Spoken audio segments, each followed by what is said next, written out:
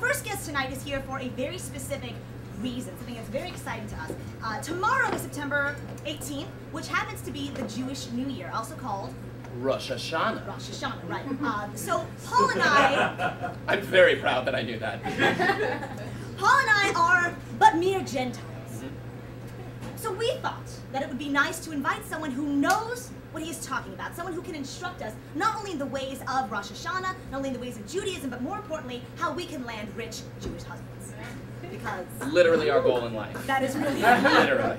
doctors preferable. I take a lawyer.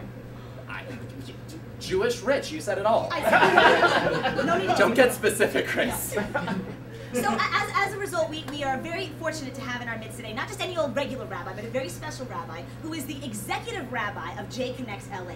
He's also the director of Jewlicious Festivals. He is a former Fulbright fellow, a teacher, and a community activist. Does it all. Everything. I mean, not as much as Liana, but plenty of things. Just kidding. We are so lucky to have him in our midst today. Ladies and gentlemen, please welcome uh, to the stage Rabbi Yonah Bookstein.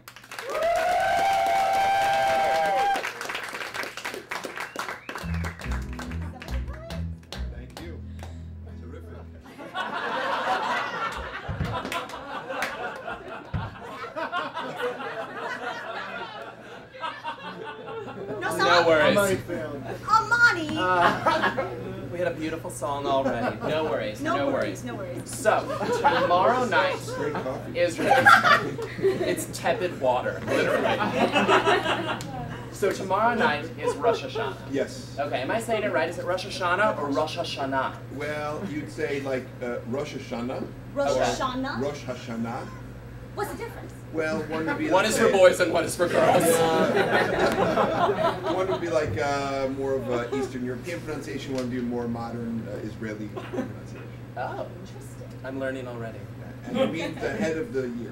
The head of the year. Yes. The head of the Head of calendar year. year, That's right. Oh, so Actually, the calendar starts, and this is so Jewish. The calendar actually starts. Get ready, people. This is so Jewish. Another, the new year is not the first month of the year.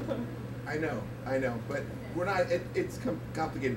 Actually, the month that Passover falls in Uh, is the that's the first month of the Jewish calendar year. Which is February. close. It, it's like around springtime. April. That's good. That's good. and uh, then it goes on from there. Actually, uh, we're well into the Jewish calendar, year, but this is the new year, and we would have to be here all night for me to try to. Oh. Well, here, here's we would love to hear more. Here's a question though, specifically about the new year. Okay. Uh, in the American culture, we have Dick Clark, who counts us off to the new year. or to be a little more modern, we have Ryan Seacrest. I'm sorry. Catch up, Grace. I'm 47. Who is the Jewish equivalent of Ryan Seacrest? Who counts down off? Who counts off your new year? Is there one? Um, we don't have one. Rabbi. I know, I know. It's a, it, it, it is a uh, major cultural failing. Thank you. I didn't want to have to say it out loud. So I'm glad you I, I can, I Can can, I can pronounce you? that. yeah. Can we nominate you to be? I, I would love to pull the uh, whatever the bell or. I'm gonna call Kiss FM right now. Yeah, we have no. There's no. Um, you know, there's no countdown. There's no big clock. Mm-hmm. Um, What is that? there's no. You know, uh, a big uh, like. Uh, I mean, Apple. Right, Apple actually is Apple? one of the symbols of the new year. Gwyneth being an Paltrow's apple. daughter? Mac has Mac has branded your Yeah. holiday. No. That's smart advertising. They, um, the apple and the honey is a popular uh, thing to have a sweet new year. So I suppose if one was to drop the ball, they would drop an apple into honey. So if you're dropping a ball in the Big Apple, which we do during, during New Year's, the opposite would be dropping an apple in a big ball. Oh, guys, I gotta drink some. Hers is not tepid water. no, no, no. We, we um, uh, have so many questions. Actually, one, one question in terms of, of uh, the celebration aspect is the anti-celebration happens at sundown, right? Like that. What happens at sundown? Right, Jewish festivals begin in the evening. Okay. Right, they begin so at sundown is when the, the new year will start on Friday night. And instead of like you know a, a, a big party or I don't know um, confetti and kazoos and and champagne Uh-huh. uh, people will probably be in synagogue. Uh, or maybe at the at the table, dining room table, have a big lavish uh, feast in honor of the holiday. Uh, people dress up in nice clothing. They usually spend it with their family. Here's my question. This It's a family con- time. I, I get that this would conflict with my ability to drink a lot of gin and tonics, Um, you could you could drink which is what I do after sundown. Well, I was gonna say that's what I do with my family. So How does that's okay. That's kosher, Sure, right? I mean, oh. We should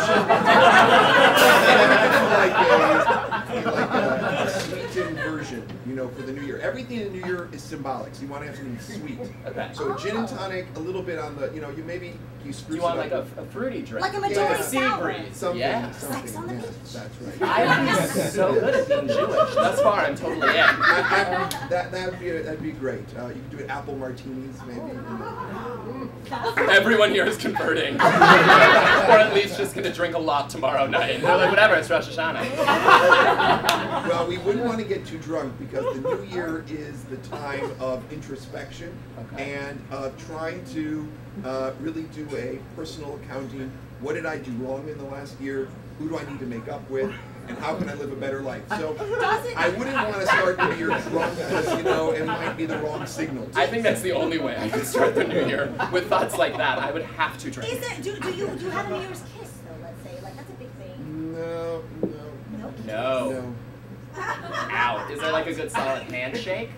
Uh, we blow the show. Fuck the the Rams. Wait, wait, what? I this up. So, and then for porn, he keeps drinking my